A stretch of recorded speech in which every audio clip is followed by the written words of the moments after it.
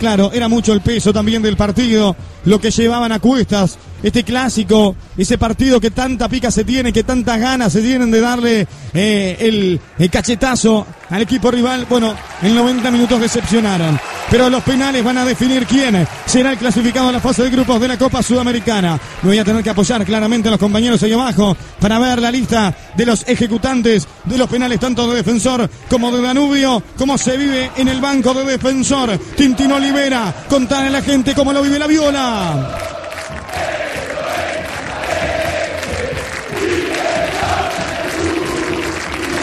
Así lo vive Defensor, con el cántico completo de su hinchada.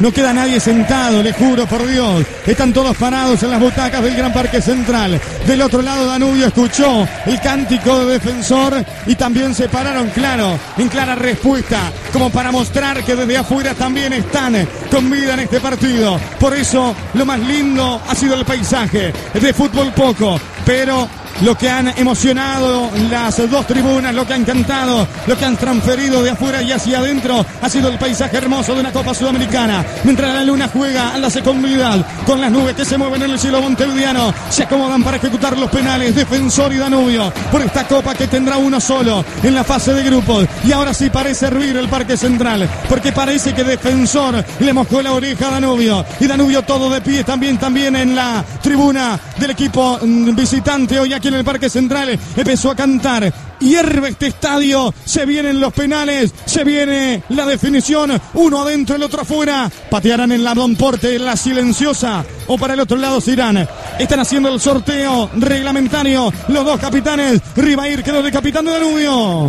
El fútbol te mueve mucho más que durante 90 minutos. Si vos no parás, reacciona tampoco. Ahora 72 horas de protección superior. Mira cómo entró todita mientras siguen repasando el barbo. Corre a comprar tu preservativo Prime. Prime, primeros en tu cabeza. El 99.69 lo prefieren. Llegó Star Más a la cancha de Antel para darte el mejor entretenimiento. Contrata el plan entretenimiento móvil que incluye Star Plus. 220 siga. Así la mejor velocidad. Nos impulsa nuestra historia. Sanila, desde 1948. Somos parte de tu vida. Goicochea o Dos arqueros, nos vamos a la izquierda. Oscar, ¿con cuál de los dos?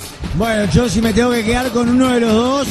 Para este tipo de circunstancias que son los penales, me quedo con Goicochea. Creo que tiene en esta tendencia a atajar penales algo más sobre Dufour. Nos vamos al arco de Escarone. Nos vamos a aquel lado para patear a la izquierda de la cabina de Radio Carlos Deportiva. Arranca ejecutando Danubio. Lo veo moverse el jugador danubiano que va a acomodar la pelota. Me apoyan ustedes, Panza. ¿Quién es el primer ejecutante en Danubio? Facundo Silvera, Facundo Silvera con el número 7. Muy bien, gracias. Será Facundo Silvera entonces. El árbitro está aprovechando para charlar con los dos arqueros y le va a dar la pelota ahora al jugador de Danubio. Arrancará la tanda de penales y escucho. Es el 14, Facundo Millán, el que va a patear. Gracias, entonces es Millán, el 14, el que tendrá la primera responsabilidad, el de abrir la serie. Difícil penal. Pesa muchísimo esa pelota, la responsabilidad del hombre, la pelota en el punto. Y ahí va Millán entonces el 14. Se abre la rueda de ejecución de penales. Por Carve Deportiva llegamos a todo el país. Con cuánta potencia entra la 10-10 en todo el Uruguay. Transmitimos desde la cabina número 5 del Gran Parque Central. Le va a pegar Millán. Jugó buen partido el Botija Danubiano. Tomó cuatro pasos, cinco ahora, seis, siete. Larga carrera. Frontal a la pelota, se para. Ahora sí, arranca la definición, amigo oyente. Cuánta adrenalina, cuánta pasión contenida. Danubio defensor en los penales por la Copa Sudamericana. Ahí va Millán, corre de derecha. Gol de Danubio, pidiendo permiso. Y con mucho suspenso entró esa bola. Se tiró bien Dufour, pero no llegó. Abre la cuenta Danubio. Arranca 1 a 0 arriba. Perfecta la pegada, con mucha precisión al rincón. Se estiró bien, pero no llegó hoy Cochea. Para que todo el mundo no se detenga, pasar por Luxi, Sociedad Anónima, tiene todos los relevanes para la agroindustria automotriz, porque con Luxi todo gira bien. Jaguarán 16, 65 casi Galicia con el respaldo de Grupo Ayala. Va el chino Navarro ahora, señores, para defensor. El jugador con más experiencia en el equipo Violeta. Dijo, el primero es mío. Ahí va el chino Navarro. Goicochea, parece hablarle algo como para incomodarlo. Le va a pegar esa pelota al chino Navarro. Se agiganta Goicochea. Va Navarro. Gol de defensor. Empató la serie el chino. Pelota a un lado, arquero al otro. Pelota a la derecha, arquero a la izquierda. Están 1 a 1, Oscar. Bueno, con la experiencia que, por ejemplo, mostró el otro día en el Francine en el último segundo frente a Peñarol. Ahora en una llave pesada, le dio duro, le dio contra un palo. Entró la del chino Navarro para igualarla. ¿Quién manda Nubio? Te escucho, Panza. Número 5, el número 5 del equipo de Nubiano, Santiago Silva. Gracias, va Santiago Silva. Le debo Haller, decir al Haller. oyente Haller, que de acá arriba es imposible. ¿Cómo? Haller, es Haller, el número Haller, 17, gracias. De acá es no imposible. nada, la- Los números de camiseta Danubio son los peores del mundo, no se ven nada. Va a ir Haller entonces. Va a ir Rafael. El lateral por derecha. Mira cómo se mueve Dufour. Cómo se agiganta ese arquero, por Dios. Va Haller. Tapó Dufour. Tapó Dufour.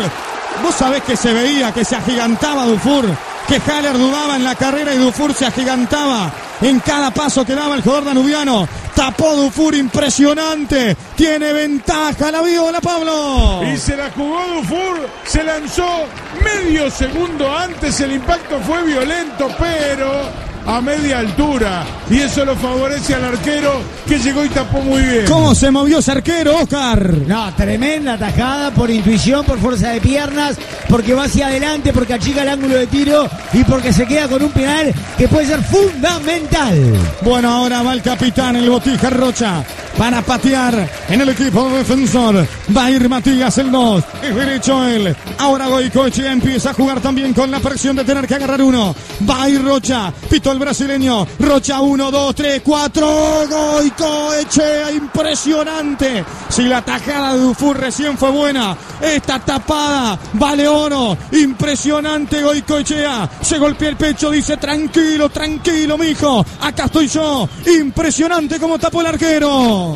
Sí, a ver, se pasó con el vuelo de la línea de la pelota. Su cuerpo pasó la pelota, pero metió el manotazo que fue tremendo para quedarse con un disparo que no iba esquinado ni mucho menos, pero sí con potencia. Hay que ver cómo termina esto, pero puede ser el guantazo de la noche, ese de Golcochea. Ahora va Rivair Rodríguez. Es Rivair el que acomoda la pelota. El partido está en los penales. 1 a 1. Convirtieron Millán y Navarro. Después marraron los dos, atacaron los dos arqueros. Va a ir Rivair, va Rivair, va Rivair, va Rivair. Repiquetea, repiquetea de derecha. Dufour. Otra vez voló Dufour. Pero qué anunciado, qué débil y qué mal. Le pegó esa pelota a Rivair. Yo pensé que le arrancaba el arco, Oscar. Ah, se le alcanzó, impresionante. No, no, no, no, no, no. Te está jugando una entrada en la Copa Sudamericana. Rivair, vos como nadie sabés lo que es eso. ¿Cómo le pegó? Una masita. Tal vez quiso hacer el juego psicológico de que todos esperaban que rompa el arco y él colocarla, pero la intuición otra vez de Dufour fue tremenda. Aprovechó el regalo de Rivair. Bueno, señoras, señores, puede sacar diferencia defensor. ¿Quién es? ¿Ustedes lo ven? De los Santos. Jugó muy buen partido el volante. Va a ir de los Santos. Muchísimas gracias, compañeros. Va a ir de los Santos. El botija de la selección sub-20. Se va a parar derecho nomás. Sí, señor, frontal a la pelota. Coche otra vez con la responsabilidad de manotear otro. Va de los Santos. Corre de derecha. Golazo. Si los penales habían pateado son gol este. Es un golazo. La colgó del tornillo Oscar. Este pibe tiene categoría, tiene jerarquía y le pegó como hay que pegarle. Con mucha fuerza, pero con mucha dirección. Imposible para cualquier arquero. Arriesgó un disparate alto y al rincón. Pero se tuvo mucha fe, mucha confianza. Y si el arquero adivinaba y por esas cosas que tiene el destino llegaba, lo metía con pelota y todo para adentro. Bueno, ahora responsabilidad y pico la que tiene el hombre danubiano. ¿Me pueden ayudar ustedes? Ferreira. Lucas, Fer- Lucas Ferreira, Colo. Bárbaro, gracias, Maluca Ferreira, el zaguero. Va Ferreira. Gol. Le pegó Bárbaro también. Arriba, potente. Sobre el techo del arco la pelota. Empata transitoriamente Danubio. Y tiene ventaja de defensor Pablo. a otro que rompió el arco, también asegurar a que no tuviera ninguna chance un arquero que se ha comportado magníficamente en los penales. Hidrator, especialistas en mangueras y conexiones industriales en bronce, acero inoxidable y PVC, todo en suministros industriales. Somos Hidrator, más de 40 años en Uruguay. Hidrator, Cuarencas y Galicia, 2908-5874, hidrator.com. Va Anderson Duarte, el 10. El jugador que ingresó en el segundo tiempo. Acomoda la pelota, es derecho también. El cochea va a la línea. Le va a pegar esa pelota Anderson Duarte. Llegan al 10. Se mueve lento Goicoechea. Llega Duarte. Goicoechea, Goicoechea, Goicoechea. Otra vez Goico voló Goico. Entre las manos y los pies. Sacó el remate potente de Duarte. Otra vez tiene vida Danubio. Que ahora empata las acciones. Protagonistas los arqueros. Otra vez Goicochea ante un remate potente, ante un remate que era difícil de contener, incluso adivinando. Pero Goicochea adivinó, puso mano firme y se quedó con el penal difícil. Sé que valen lo mismo todas las atajadas, ¿no? Pero la dos de Goicochea, por la forma en que atajó, por la forma en que le remataron, tienen un, balón, un valor brutal. Bueno, están 2 a 2 y va Guillermo May. Es el último penal que tiene Danubio para ejecutar.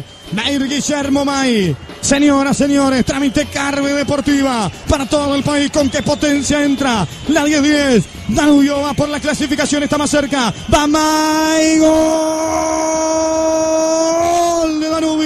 Guillermo May le pegó bárbaro de zurda, la cacheteó abajo al palo derecho y toda, toda, toda la responsabilidad en la espalda del Ojito Rodríguez. Danubio está más cerca. Con mucho convencimiento, el zurdo la cruzó, la puso abajo contra el palo derecho.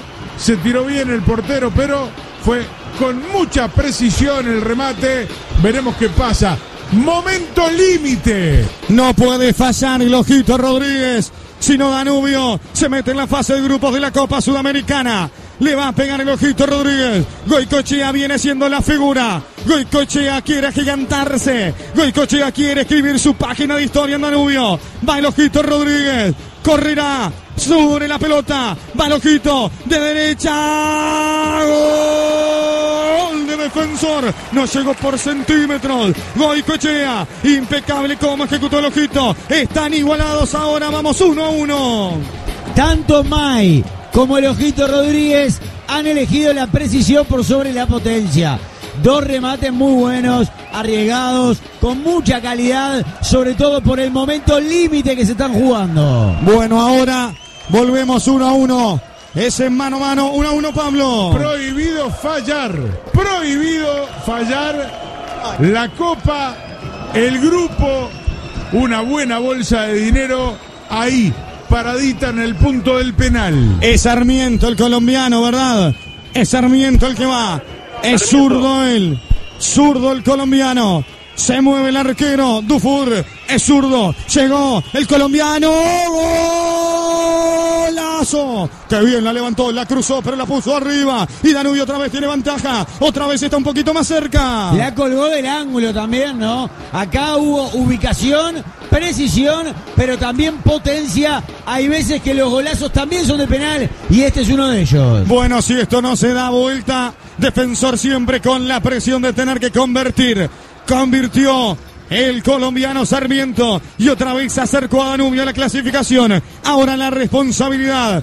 Ahora pesa la pelota para Baldo. Le va a pegar el botija. El 19. Va a ir Matías Abaldo. El arquero Goico Echea. Se queda parado ahora. Como tranquilo nomás. Con sapiencia espera. Para querer anticipar el tiro. Va a ir Abaldo. Abaldo. Arriba, arriba, arriba. Danubio en la fase de grupos de la Copa Sudamericana. Se queda por el camino defensor. Abaldo la tiro arriba de horizontal. ¡Qué locura es esa hinchada! Mira vos cómo van todos los jugadores de defensor a buscar a el jugador Abaldo, al juvenil de la selección sub-20 que marró el penal. Pesaba una tonelada esa pelota en el punto. La le, le pegó muy de abajo, la tiró muy de arriba. Y ahora toda la locura, toda la alegría es danubiana. Es en la curva de Maronia. Es allá, en el barrio Jardines del Hipódromo. Danubio y en este clásico que le gusta tanto. Acaba de eliminar a defensor de la Copa Sudamericana. El equipo del Coco Conde. Quizá en los 90 jugó menos que defensor. En un partido sumamente discreto. Pero en los penales apareció Goico Echea. Un arquero atajador de penales. Con mucha categoría, con mucha experiencia.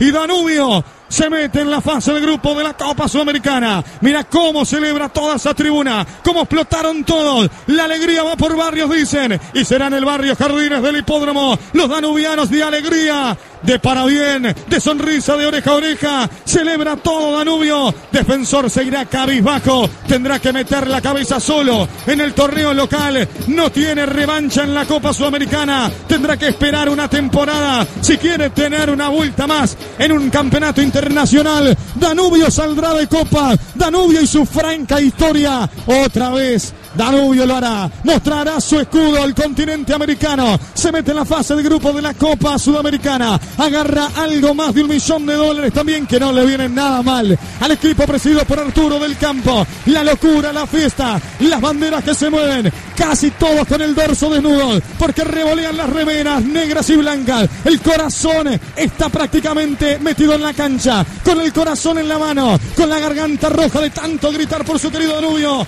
ahí está la hinchada Danubiana. Vinieron hoy sabiendo que era más fea, que el candidato estaba del otro lado, pero aguantaron hasta el final. Y por penales, Danubio se mete en la fase de grupo de la Copa. Se queda fuera defensor. La fiesta, la locura, la alegría, la noche larga de festejo será en la curva de Maronia. Absolutamente, un triunfo histórico, una definición que va a quedar marcada, un clásico que cada día se convierte más en clásico, más allá de que tal vez las generaciones más antiguas tengan algún reparo, pero que las generaciones nuevas, que desde las formativas, que en el último tiempo, que por el descenso y lo que jugaron en la Liga de Ascenso Profesional, por algún otro mano a mano que se había dado a nivel de copas internacionales, porque esta llave hace tiempo, los dos que la van a jugar, y hace tiempo que lo están palpitando como un clásico, porque durante 90 minutos se vivió de esa manera, un partido trabado, un partido sin juego, un partido sin demasiadas ideas, un partido en el que eran mucho más conscientes de lo que podía pasar si perdían, de lo que podían llegar a disfrutar si ganaban. Y eso hace que las piernas no se suelten, y eso hace que las ideas no aparezcan. Y en ese contexto, Danubio logró minimizar de alguna forma el gran potencial que tiene Defensor Sporting, que llegaba a este partido como favorito, como un equipo más armado, como un equipo con un técnico con más trabajo, pero que sin embargo adentro de la cancha, salvo en algunos pasajes, no se terminó notando. Y acá juegan todos los detalles. Defensor no fue efectivo, Danubio lo llevó a los penales y en los penales pateó y metió los que tenía que meter y contó con un arquero que atajó los que tenía que atajar. Danubio hace historia. Danubio se mete en la fase importante de la Copa Libertadores, de la Copa Sudamericana y el equipo franqueado además se va a hacer de una buena guita que nunca está de más. Se terminó la maldición por la curva de Malonias, Pablo. Eso de no pasar la fase de la Copa será historia. Se rompió en el Parque Central. Danubio está en la fase de, de grupos. Un partido que va a quedar marcado por un montón de situaciones. Un partido que va a quedar marcado porque el año pasado se enfrentaron estas dos instituciones históricas en el marco del fútbol uruguayo viniendo de la B. Y viniendo de la B, hicieron un torneo que les permitió meterse en esta primera fase de la Sudamericana. Y el sorteo caprichoso como si fuera poco que tenían que jugarse una llave a un partido para que uno fuera para adentro y el otro se quedara afuera, el sorteo dice defensor Danubio, se tienen que enfrentar, se tienen que eliminar, se tienen que matar, uno entra, otro queda afuera y el partido tuvo la tensión desde el primer minuto. No justifica eso el mal juego, no justifica eso el bajísimo nivel, el pobrísimo nivel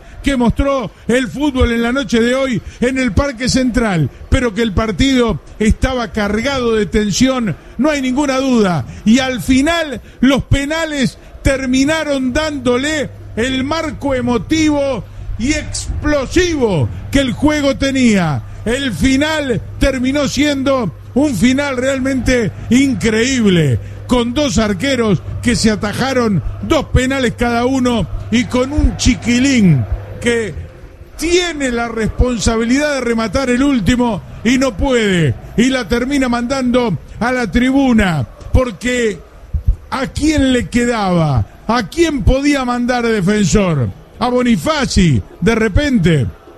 Sí, lo podía mandar. A Gonzalo Freitas, sí, lo podía mandar. Le tuvieron fe al chiquilín, le tuvieron fe al gurí de la casa. Y el pibe terminó tirándola por arriba.